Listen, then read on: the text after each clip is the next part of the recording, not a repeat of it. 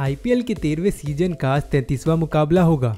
मुकाबला राजस्थान रॉयल्स और Royal Challenger Bangalore के बीच खेला जाएगा। दोनों ही टीमें अपना नोवा मैच खेलने के लिए उतरेगी।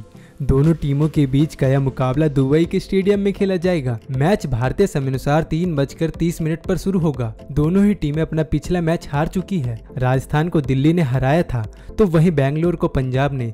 इस सीज़न में दोनों टीमों ने अभी तक आठ आठ मैच खेले हैं। बैंगलोर ने अपने आठ मैचों में पाँच में जीत दर्ज की है, जबकि तीन में उसे हार का सामना करना पड़ा है। दूसरी तरफ़, राजस्थान ने तीन मैचों में जीत दर्ज की है जबकि उसे पाँच मैचों में हार का सामना करना पड़ा है।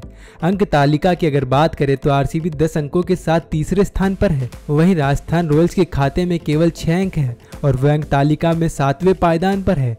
स्मिथ की कप्तानी में राजस्थान रॉयल्स टीम ने शुरुआत तो अच्छी की थी, मगर आगे जाकर जीत की लय बरकरार नहीं रख सकी। तीन लगातार हार के बाद टीम ने एक मैच में जीत दर्ज की और फिर पिछला मैच दिल्ली के खिलाफ हार गई। वहीं बैन स्टोक्स के आने से टीम निश्चित ही रूप से मज़बूत हुई है, लेकिन बटलर और स्टोक्स की सलामी जोड़ी को पिच पर टिककर खेलना होगा। वहीं स्मिथ, संजू सैमसन शुरुआती मैचों में चलने के बाद फ्लॉप रहे। दूसरी तरफ़, आरसीबी की टीम इस बार अपने लय में नज़र आ रही है।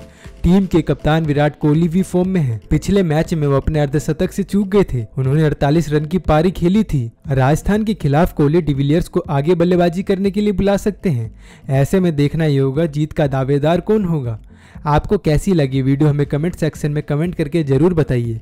अगर आप यह वीडियो हमारे फेसबुक पर देख रहे हैं तो हमारे फेसबुक पेज को लाइक करें।